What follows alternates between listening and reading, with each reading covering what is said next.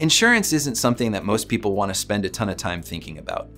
Here at Harry Levine Insurance, your independent insurance agency, our goal is to serve you quickly and as friendly as we can.